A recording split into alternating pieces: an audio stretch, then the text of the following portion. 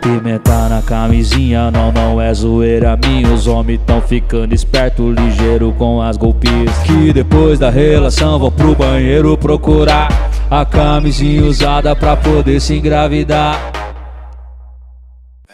O rapper Drake, famoso e rico Pra se prevenir de um golpe da barriga ele fez isso. Em vez de só dar um nó na camisinha e jogar fora. Pra exterminar de vez, molho de pimenta ele bota Saiu com uma modelo e pro hotel ele levou. Foram direto pro quarto lá, o clima esquentou.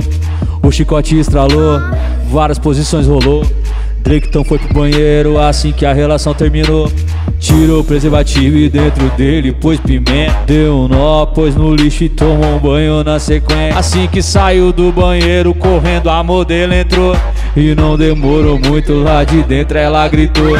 Certeza que ele fez, mano, de sacanagem. Sacou que a mina ali queria tirar uma vantagem. Cara veaco malandro fez ela fácil cair. Deve tá rindo até agora dessa situação aí. Ela revirou o lixo, achou preservativo. Desfez o nó que ele deu e passou nela aquele líquido O negócio ardeu, começou a gritar e chamou a polícia pra ele denunciar. Nem precisa o cara ser rico, mano, pra passar por isso. Quem quer segurar casamento também usa esse artifício. Pra garantir uma pensão ou ferrar com a vida do cara. Tem mulher que faz coisas que até o capeta duvidava. Com as camisinhas que usar, toma cuidado, fica esperto. Só dá um nó, joga fora, amigo, isso não tem dado muito certo. Deixa aí nos comentários o que vocês fazem pra se livrar do preservativo usado pra nenhuma maluca querer pegar.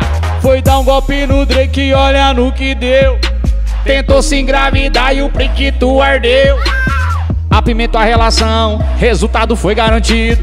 E tá lacrada de mestre, soldado foi promovido.